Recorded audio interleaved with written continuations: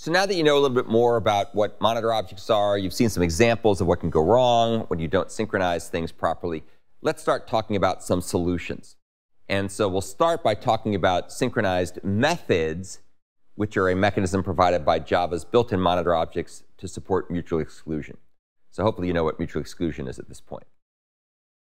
So the, the thing we're going to do here is we're going to provide a partial solution to the buggy queue problem using something called the busy synchronized queue. So remember we had buggy queue before, now we have busy synchronized queue, which you can get here. And this is going to be a implementation of the bounded queue, and it's going to properly protect the state, the fields that make up this particular class implementation.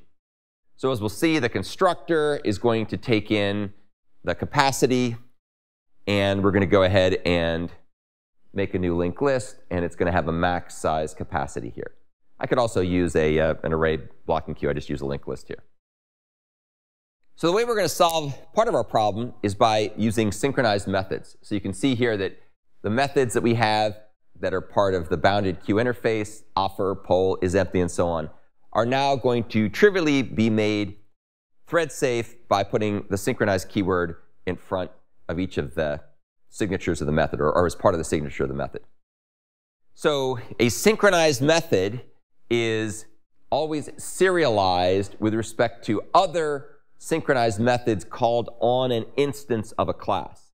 So remember that synchronized methods always refer to instances of, a, of an, or, or objects, instances of a, of a class. So what it says is that only one of these methods at a time can be running inside an object in the context of a thread. So we have a bunch of threads that are trying to get access to the critical section of an object, an instance of busy synchronized queue, and only one of those synchronized methods can be in here at a time. So pretty straightforward idea. And so essentially, this is along the same lines as a, a Java reentrant lock, but unlike reentrant lock, which is a class, that you have to make instances of and do lock and unlock operations put, and put them in try finally blocks and so on.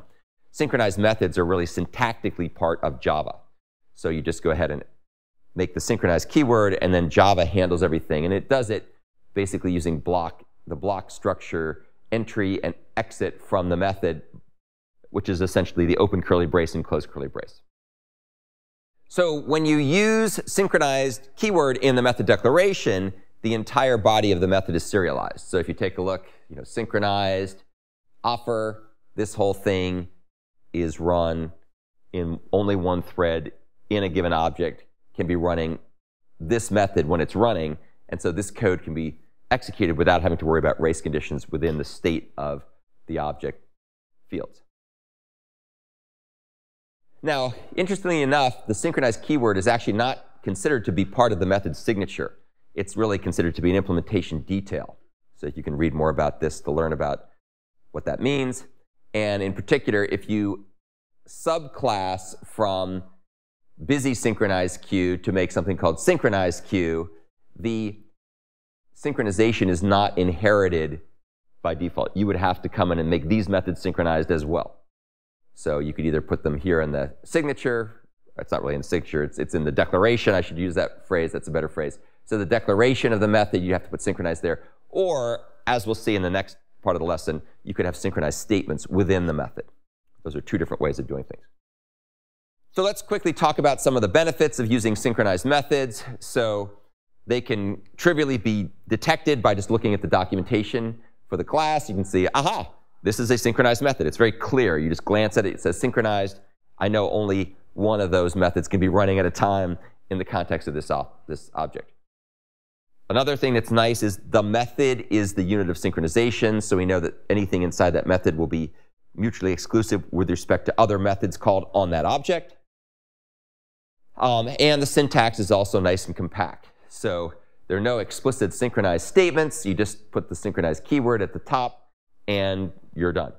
So it's no surprise that this feature has been around in Java since the very beginning. It's very simple. It's kind of hard to screw up. You don't have to think much about it. You just say synchronized and you're done.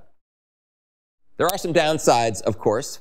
Um, so one problem is that synchronization, the synchronized keyword, always works on the intrinsic lock, which is part of this, this object.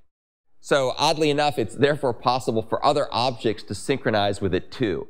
Now this is a kind of a bizarre use case, but there's nothing to stop you from doing this. So let's assume for sake of argument we have a busy synchronized queue called Q, and we have thread T1, and this is saying, you know, while Q is empty, do something or other. And over here in thread T2, it's synchronizing on Q. It's calling synchronized on the Q object. Well, strangely enough, that synchronized statement will prevent this thread from ever getting access to that is empty method because this guy grabbed the lock. And let's say he goes to sleep for a very long time.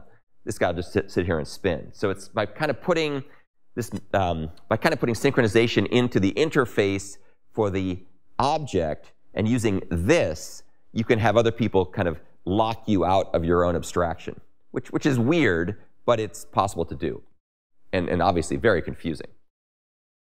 Another problem with synchronized methods is that the granularity of the synchronization is very coarse grained. So synchronization is on a per object slash per method basis. And it shouldn't be is AA, it should be is a per object and a per method basis.